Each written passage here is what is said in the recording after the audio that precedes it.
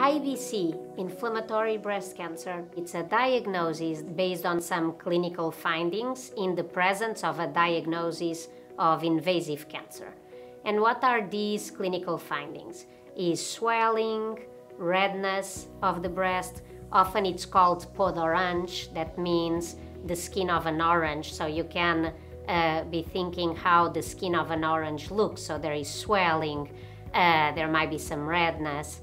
Uh, many times um, it, it, occupies a significant part of the breast, but sometimes if it's diagnosed earlier on, it's, it's just a portion of the breast. There might be some nipple changes as well. Uh, there might be a lump, but not necessarily. And one of the characteristics is that it's a rapid onset. So it's something that you notice a rash, you bring the, to the attention of your primary care doctor, and you say, No, this was not there a couple of weeks ago, this just started.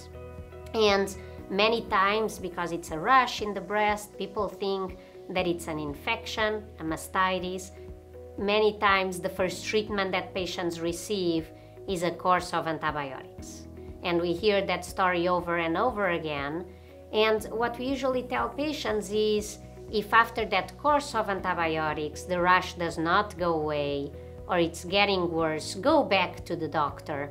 Uh, don't stay at home waiting for it to go away. Go back to the doctor. And even if the breast imaging or the mammogram does not show anything and the rash continues to be there, you might need to see a surgeon and have a biopsy of the skin. Inflammatory breast cancer affects younger women when compared to non-inflammatory breast cancer, and it seems from different studies that obesity is a risk factor, both in premenopausal and postmenopausal women, which seems to be something unique about IBC. Because inflammatory breast cancer is a rare disease, I think that it's important that uh, patients with inflammatory breast cancer are treated uh, by teams that have expertise with this disease. And that means not only the medical oncologist, but the, the breast surgeon and the radiation oncologist that will be involved in the care of uh, any patient with inflammatory breast cancer. Patients with inflammatory breast cancer are treated typically with chemotherapy first to try to shrink the tumor. And after chemotherapy, this is followed by surgery, which for patients with IBC is a mastectomy, so that we can remove as much skin and breast as possible. And at the same time, there is removal of the lymph nodes. Uh, usually, this mastectomy would be with delayed reconstruction so that we can move on with radiation as soon as possible. Because the local regional control of the disease in the, in the setting of inflammatory breast cancer is very important.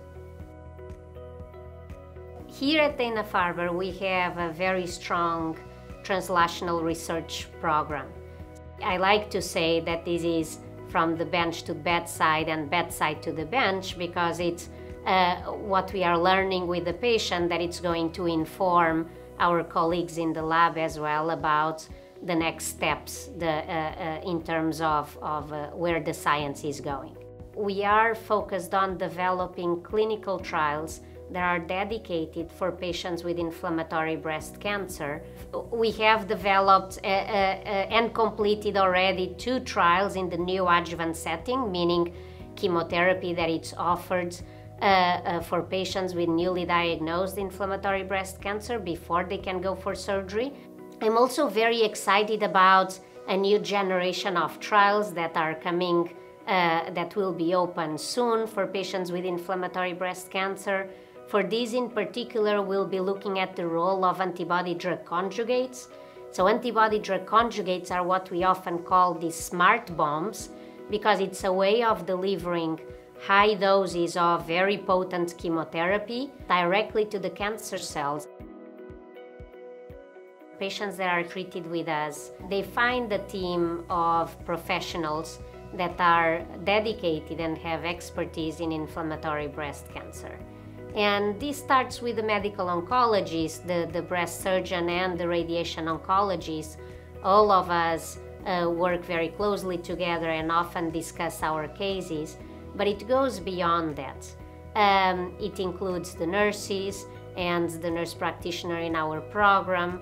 It includes the, the social worker and all the educational events that are developed with the patients with IBC and their families in mind and what their needs might be. And it, it involves as well all the research staff that it's dedicated and focused on uh, uh, clinical trials being developed in this field. And it doesn't stop there and it goes beyond and it involves as well our colleagues in the lab, the basic scientists that work to try to identify what is the driver, what, what causes this disease to be so aggressive.